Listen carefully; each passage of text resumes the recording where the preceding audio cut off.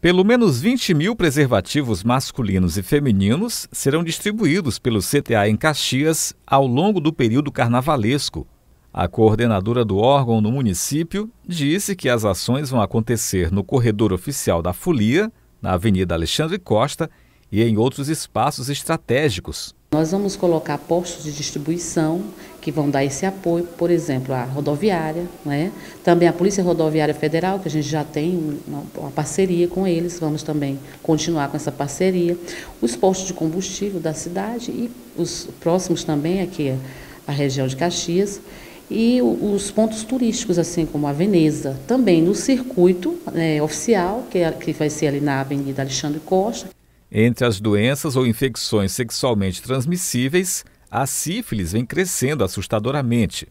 Dados do Ministério da Saúde apontam que em 2016 o crescimento foi de 28% em relação a 2015, o que levou a um total de 87.593 casos registrados.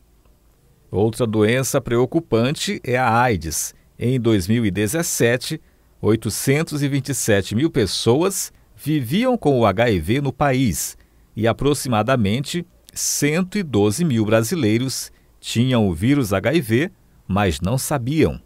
A distribuição de preservativos e outras ações no período de carnaval ajudam a prevenir novos casos de infecções sexualmente transmissíveis. Utilize o preservativo, brinque mais com segurança, porque realmente nós não podemos brincar com, com essas é, é, ISTs, né, no caso, é, mas ainda, por exemplo, a AIDS, né, o HIV e sífilis né, e hepatites virais, que são transmitidas através do, do, do sexo. Né?